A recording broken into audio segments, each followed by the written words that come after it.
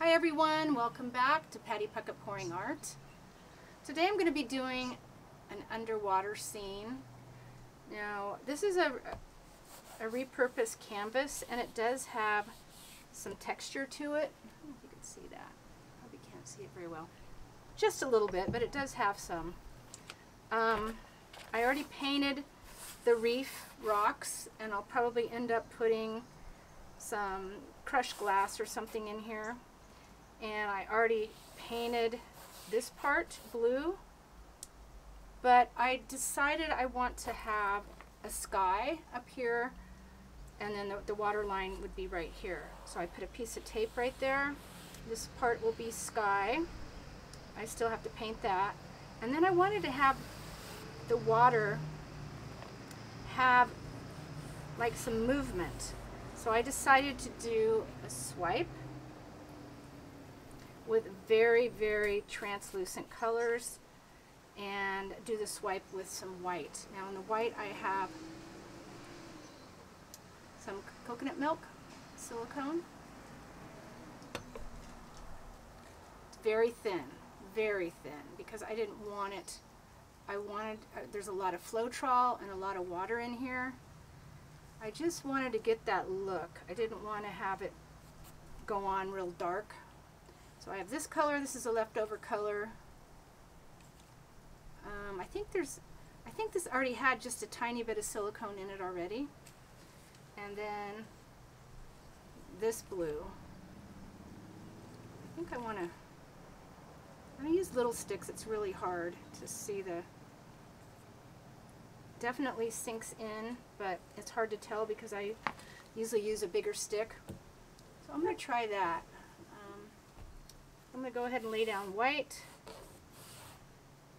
and use a sheet protector to do the swipe even though it doesn't go all the way across. I can fix the edges later. Come all the way down with it. And then I could go ahead and right away wipe off on the black. I'm going to be putting fish in here, maybe a seahorse, maybe a mermaid, um, turtle, I don't know we'll see what happens. I have to let this dry first, so this will be um, probably a, I don't know how many part video for you over multiple days. Let's get going.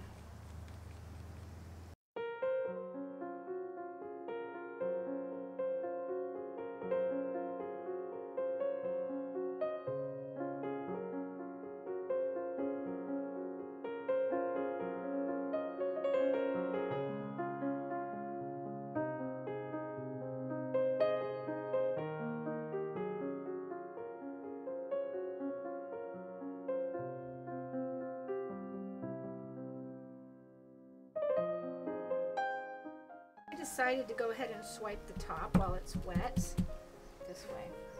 Go right on the edge there and just see what happens, you know, just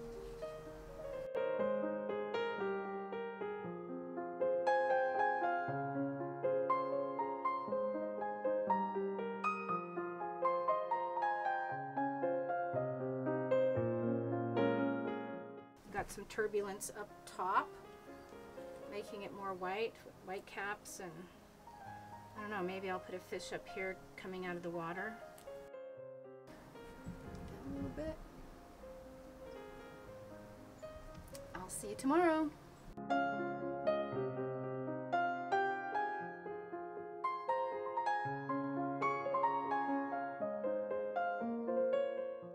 All right, I'm done with the background. Like how the water turned out. And then I did the sky up here. So I'm ready to, I think I'm getting complicated. Uh, I don't know, I'm getting in over my head here. So I have sort of a plan. I sketched out different fish, seahorse, this is a sailfish,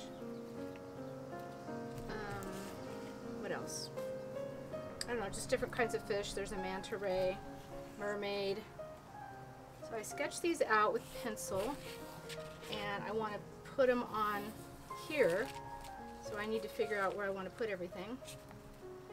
And I'm just going to use carbon paper to put my drawing, put this down, put my drawing down over it and trace it on there.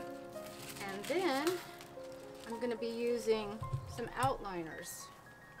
This is a Pebeo um, Cerne Relief outliners and also the Puffy 3D that you could get at Walmart. That will also work. So you have these three to choose from, or I mean these two different types that I've used. Now I do have, and because I want a thin line, if I wanted a thicker line, I could use this, the gallery glass. This is like a stained glass leading look, but it's just too big for this size. So I'm going to stick with these. So my plan is after I get them traced, I'm going to be outlining with one of these one of these reliefs, different, I don't know what color I'm going to be using. And then I'm going to put paint down, just a basic, basic paint, so the background doesn't show through. And then I'm going to be using Tri-Art liquid glass to attach and the reason why I'm using the relief is because I want to contain the Tri-Art and I want to contain the beads. I'm going to be using all kinds of different little tiny beads. I'm also going to be using some glitter and some crushed glass. So it just depends on the colors that I want. My mom left me all kinds of these little beads and so I figured I'd use them since I'm not into making jewelry. Alright, well let's get started.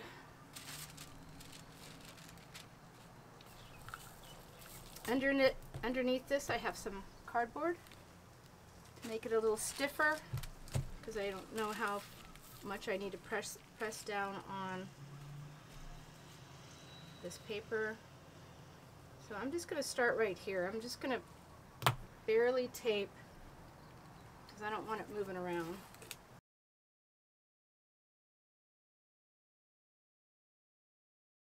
Start doing the outline. I've never used the silver before, so I'm going to start with the silver on this. This fish is going to be silver and I think dark gray.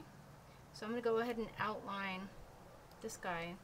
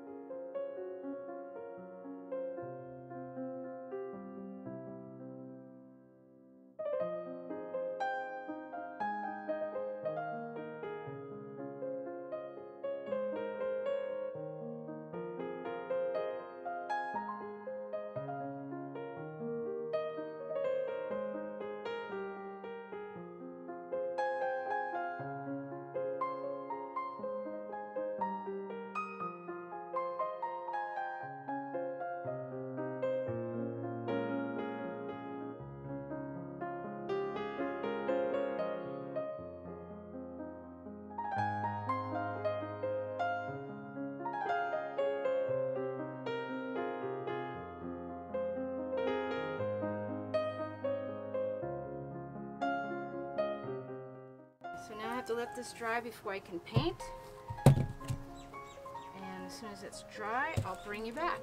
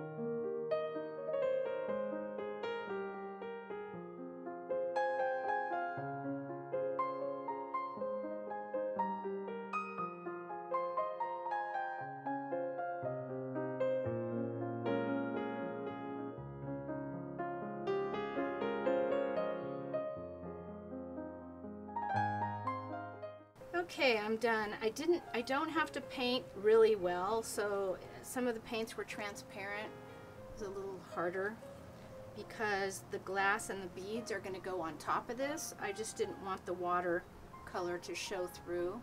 So I think I got it covered good enough where that's not going to happen. As far as the coral, I think I'm just going to hand paint that and not do the beads. Um, we'll have to just wait and see. But I'm pretty happy with so far how it's turning out. Um, hey, let me know in the description what you think. And let's go ahead and continue. I'm going to go ahead and use the Tri-Arts, paint that on as soon as this dries and start sprinkling the beads. I'll be back. Hi, it's the next day, so now I'm going to be using the Tri-Art liquid glass. I'm going to be painting it on these fish, and I'm using all kinds of different glass and beads and glitter just all kinds of different cool things. So let's get going. And some of these glitters I mixed with the glass with the glitter and the beads with the glitter. I just wanted to try to get as close to the colors as possible that I painted and I'm sure some of this paint's going to show through. So let's get going. I'm going to start up here a little bigger area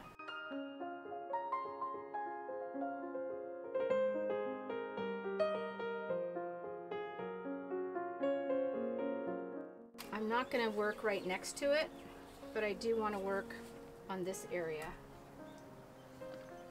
Now tomorrow I'm going to just tip this over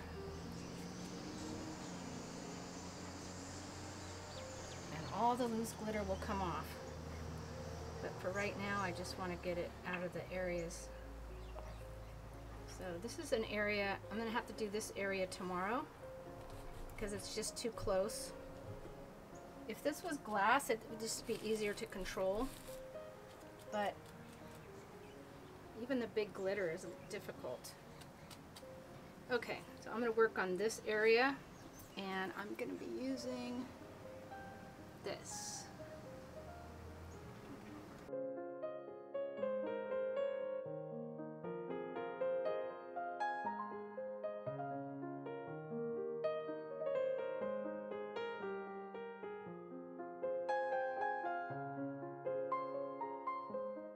Go ahead and do her tail. Then I can do her hair, and then I'll have to wait till tomorrow to do all the other colors.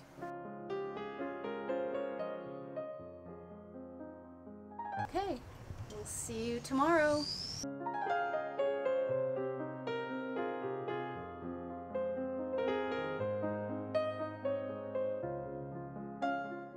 Clean up on this, and I'll be back.